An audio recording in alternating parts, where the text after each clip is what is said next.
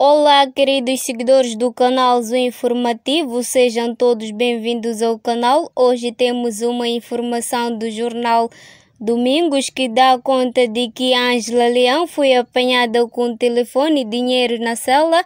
O juiz Efigênio Batista fez saber que há várias questões relacionadas com o comportamento de Ângela Leão, nomeadamente o fato desta ter sido encontrada na cela com telefone e uma quantia em dinheiro em mais de 3 mil meticais.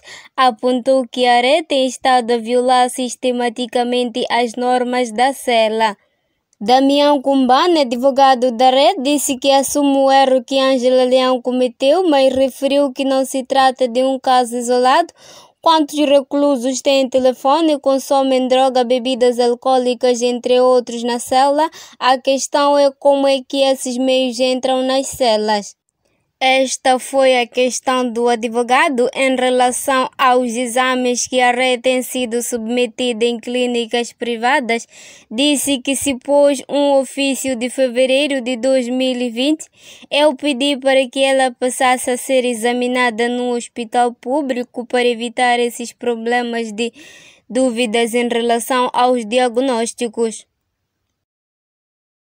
Se gostou desta informação e quer incentivar o canal, deixe o seu like, se inscreva no canal e ative o sino das notificações.